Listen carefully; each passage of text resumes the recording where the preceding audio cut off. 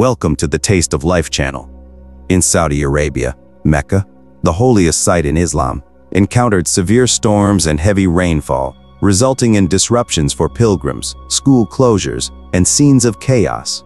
Videos captured the sight of drenched pilgrims slipping on the wet floor while performing the tawaf, circumambulation, around the Kaaba. Unusual occurrences unfolded at the colossal black cube, which serves as the focal point of Muslim prayer. This flood incident serves as a reminder of a similar event mentioned in the Bible, known as Noah's flood. It raises inquiries about the reasons behind God's decision to bring about a cataclysmic flood, leading to the destruction of the world during Noah's time. The recent flood in 2023 and Noah's flood both evoke a sense of great fear among people, prompting contemplation on whether these events serve as a punishment from God or a warning to humanity. If you wish, feel free to share a prayer in the comments section, engaging in communal reflection and seeking God's guidance. Now, let me pose a question related to Noah's flood.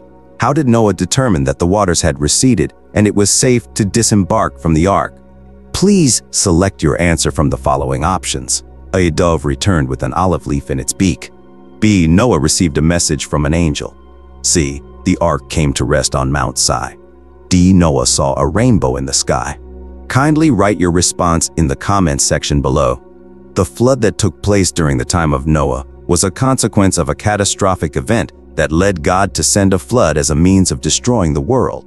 Scripture emphasizes the widespread sinfulness present on earth as the cause for this divine judgment. Noah's flood serves as a symbol, foreshadowing the future judgment that God will bring upon the entire world. The conditions prevalent in the last days are predicted to resemble those of Noah's time. While the Bible does not explicitly state the reasons behind God's choice of a flood as the method of destruction, there are various possibilities to consider. One reason may be that God intended to reset his creation back to its original state, undoing the consequences of human sin. The flood served as a punishment for the moral decay of humanity and resulted in the loss of all terrestrial life. The historical account in Genesis 6.12 reveals that the earth had become corrupt, contrasting with God's initial declaration that creation was very good. In the 10th generation from Adam, humanity had grown so wicked and corrupt that only Noah and his family were spared from the impending judgment. God's decision to flood the earth originated from his profound grief and remorse over creating such sinful beings. It is important to note that the flood was not an expression of God's anger or impulsive reaction, but rather a response to the pervasive wickedness that prevailed in the world. By preserving a remnant of life through Noah, God ensured the continuation of his plan. Humanity had seemingly reached a critical juncture where, without divine intervention, they would likely have faced self-destruction. God intervened and brought an end to the wickedness prevalent during those days. Genesis 6 1-4 sheds further light on God's decision to bring about the destruction of the world. These verses mention three distinct groups, the sons of God, the daughters of humans, and the Nephilim. Various interpretations exist regarding these groups, one suggesting that the sons of God were descendants of Seth the daughters of humans were descendants of Cain, and the Nephilim were their offspring.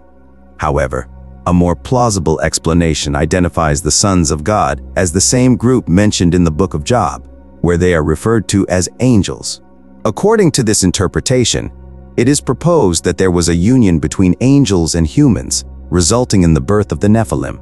The book of Enoch also describes a similar scenario, where a group of angels known as Watchers had offspring with human women, resulting in giants who engaged in predatory behavior towards humans and imparted forbidden knowledge.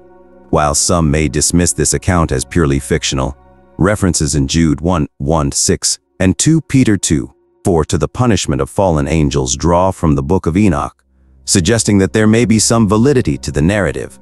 This alternative explanation adds further insight into the reasons behind God's decision to send the flood, particularly concerning the influence of fallen angels on humanity. Another reason for the flood can be found in the writings of Peter and Corinthians, where historical events described in Scripture are regarded as examples of God's punishment for sin. These passages specifically mention the fallen angels and the flood during Noah's time as illustrations of the fate that awaits the ungodly. While God does not immediately execute judgment for every transgression, he has presented numerous examples of the consequences that accompany sinful behavior. Although our punishment may be delayed, it is inevitable. The flood serves as a reminder that judgment awaits those who persist in rebelling against God. The flood had two distinct purposes. Firstly, it served as a response to the widespread sinfulness of humanity, which had reached its peak and potentially involve the influence of fallen angels.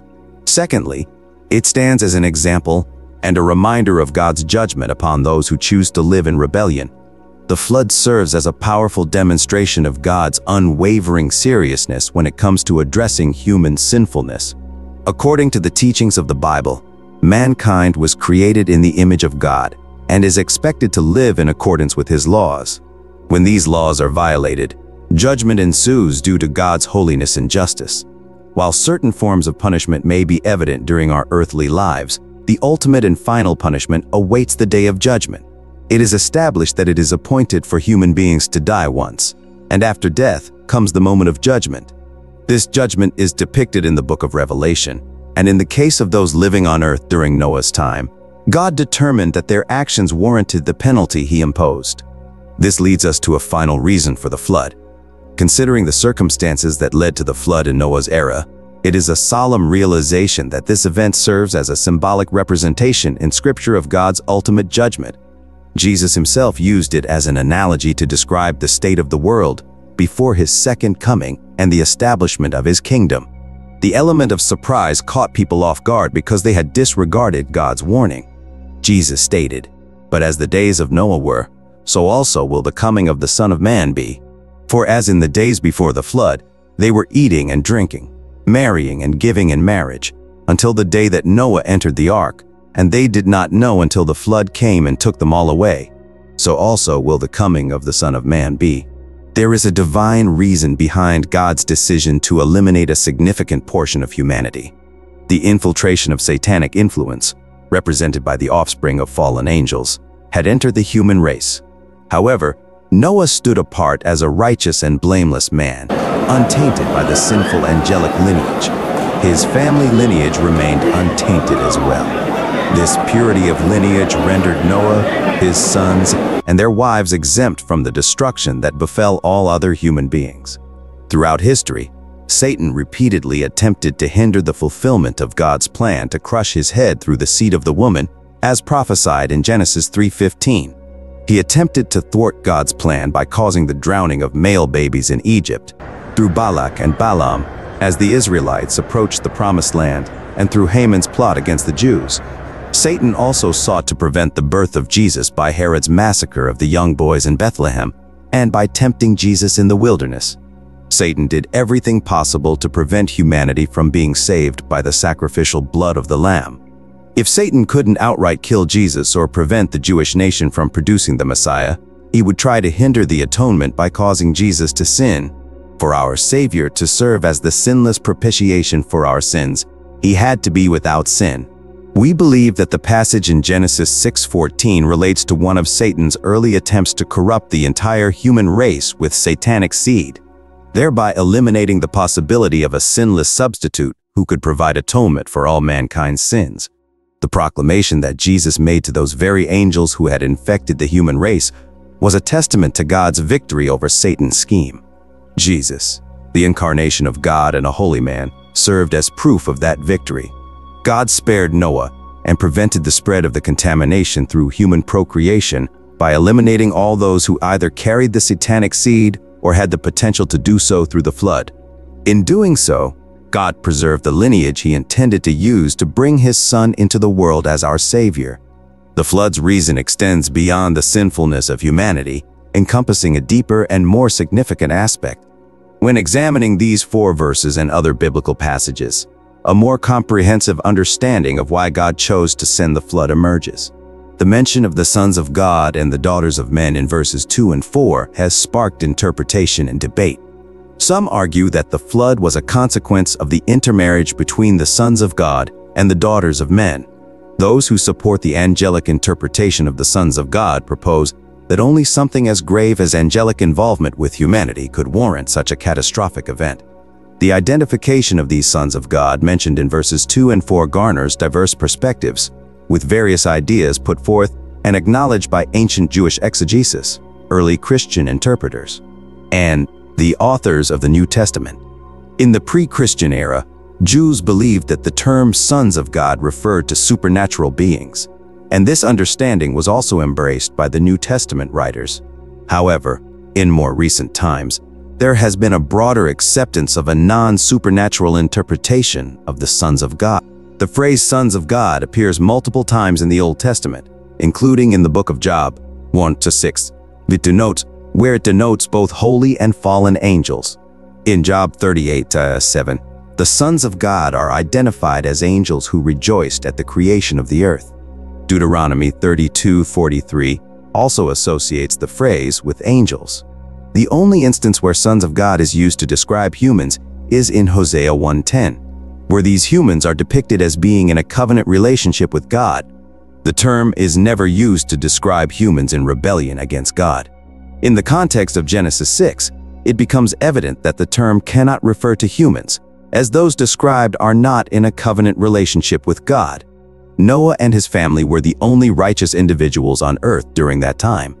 As for the possibility of angels having sexual relations with humans, the account of Lot in Sodom provides an answer to this question.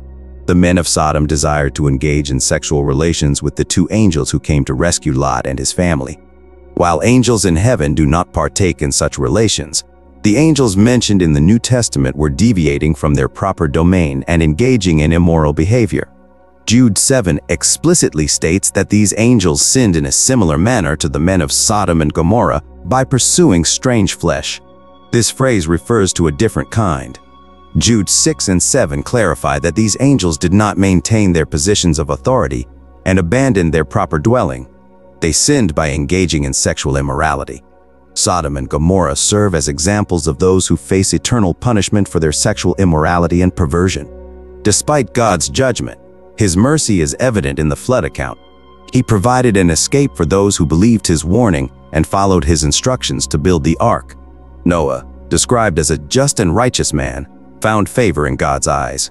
He preached righteousness and warned his generation of the impending judgment. Only a small group consisting of Noah and his family a total of eight individuals, responded in faith and were saved.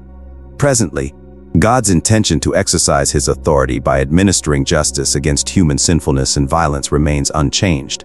The warnings issued during Noah's era and the subsequent flood retain their relevance and serve as a reminder of God's imminent judgment. Just as in the days of Noah, God has forewarned of impending judgment and provided a means of salvation the ark stood as the sole refuge from divine judgment, and entrance into it necessitated faith. Similarly, in the present day, we are called to place our trust in the Lord Jesus Christ, the exclusive Savior for humanity burdened by sin. Salvation is attained through faith in his sacrificial death on the cross. It is solely by God's grace that we are saved, and there exists no other name in all of heaven by which we must be saved. Therefore, we are encouraged to have faith in God and steadfastly hold on to the preached gospel, recognizing its paramount significance that Christ died for our sins, was buried, and rose again on the third day. Amen.